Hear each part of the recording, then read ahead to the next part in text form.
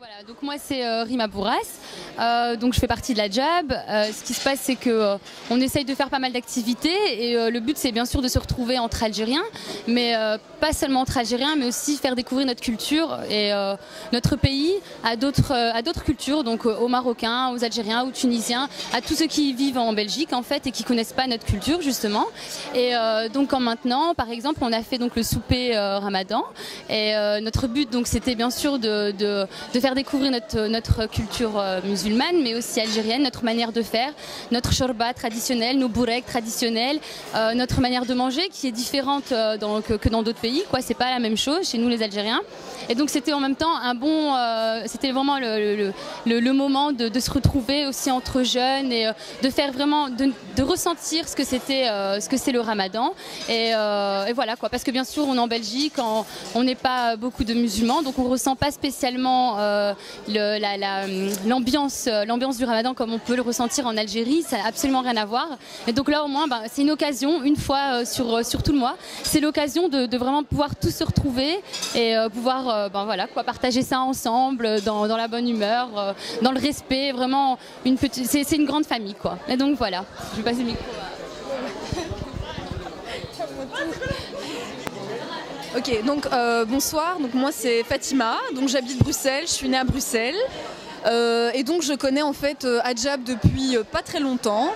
Mais ça a été vraiment un réel plaisir de, de pouvoir justement rencontrer tout un ensemble de jeunes engagés, motivés, euh, qui développent euh, énormément de, projets euh, à titre culturel, social, etc. Donc comme ce soir, on a une initiative que je tenais aussi à féliciter. Je voulais les remercier aussi pour l'organisation, etc. Donc un- une soirée pendant le ramadan, de pouvoir trouver un espace d'échange entre jeunes belges ou jeunes algériens en tout cas, ou belges d'origine algérienne. Donc voilà, on vient d'un peu partout, de tous les milieux, etc.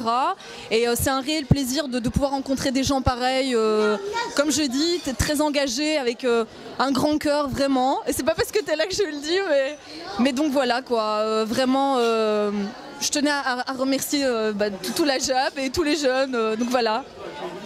Alors, euh, donc moi en fait, je, suis étudiante. Euh, je suis en dernière année en psychopédagogie euh, à l'Université libre de Bruxelles. Donc, je suis née en Belgique, euh, j'ai grandi en Belgique, mais je, je retourne en Algérie dès que je peux. Euh, D'ailleurs, euh, j'ai fait plusieurs stages en Algérie, etc. Mais bon, voilà, c'est toujours le principe, c'est de pouvoir retourner au pays, pouvoir justement essayer de monter des projets avec les jeunes de l'autre côté donc de la Méditerranée. C'est important aussi de pouvoir développer des partenariats avec l'Algérie. Donc les jeunes en Algérie, on ne vous oublie pas. On développe des compétences ici justement pour pouvoir les mettre à votre, à votre service aussi. Donc voilà. Obrigado. Je parle. Donc je voulais rajouter donc comment ça s'est déroulé. Euh, donc en fait, on, s'est retrouvés, chacun a rapporté, c'était quelque chose de totalement bénévole, tout le monde a travaillé, tout le monde y a mis du sien.